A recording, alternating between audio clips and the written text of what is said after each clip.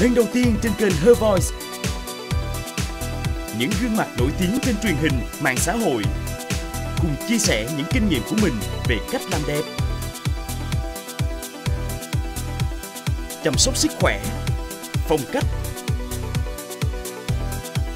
và bàn luận về các vấn đề của phụ nữ, những chủ đề nóng trong xã hội một cách tinh tế, hài hước, thẳng thắn và hiện đại.